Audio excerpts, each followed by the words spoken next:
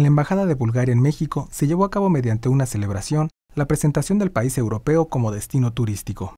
Ubicada en el corazón de los Balcanes, el potencial turístico de la República de Bulgaria comprende grandes tesoros culturales, históricos, naturales, y a decir del embajador Valentín Modiu, no hay mexicano que haya visitado el país y no quiera regresar.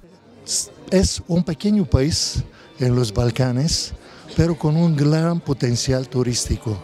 Y me permito decirle una cosa, que no hay mexicano que una vez visitó a Bulgaria que no quiere repetir su visita. Porque si México no es un país, es un mundo, Bulgaria es un pequeño país, pero lleno con tantas cosas que hay en todo el mundo. El embajador de Bulgaria en México destacó las similitudes entre ambas culturas, por lo que la familiaridad generada provoca un mayor deleite para quienes visitan el destino. Hay muchas cosas que nos unen. Primero, México y Bulgaria son países cunas de viejas culturas.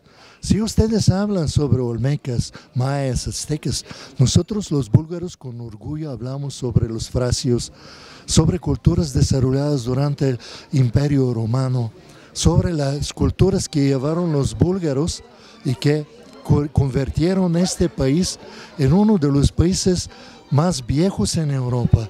Bulgaria existe bajo este nombre más que 1300 años sin cambiarlos. Claro, teníamos momentos de suba y baja, teníamos momentos de yugo, por ejemplo, yugo otomani, pero los bulgaros preservaron no solo su nombre, no solo su cultura, y desarrollaron esto y fueron una de las cunas que eh, tenía gran, gran importancia para el desarrollo de las culturas eslavas.